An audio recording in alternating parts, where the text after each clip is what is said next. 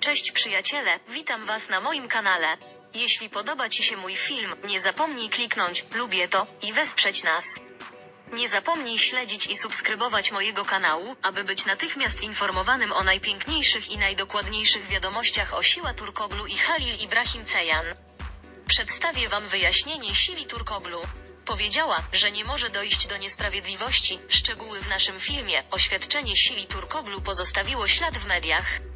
Siła Turkoglu złożyła oświadczenia na temat charakteru Dogukana, a co najważniejsze, opowiedziała o złych wydarzeniach, których doświadczyła, oraz o jej przybyciu z kraju przez te wydarzenia. Dzielę się z Państwem tematami z artykułu w gazecie. Wszyscy wiemy, że siła Turkoglu ożywiła postać natury w serialu o sorbecie żurawinowym, który pojawił się przed publicznością ze swoją obsadą, zwłaszcza w serialu telewizyjnym Show. Sezon ten zaznaczył się zarówno udanymi recenzjami, tematami, jak i aktorami. Projekt, o którym mowa, pozytywnie wpłynął na występy słynnego aktora w jego życiu, a jego występ w serialu znalazł odzwierciedlenie także w jego życiu prywatnym i prawdziwym. Siła Turkoglu złożył oświadczenia na ten temat.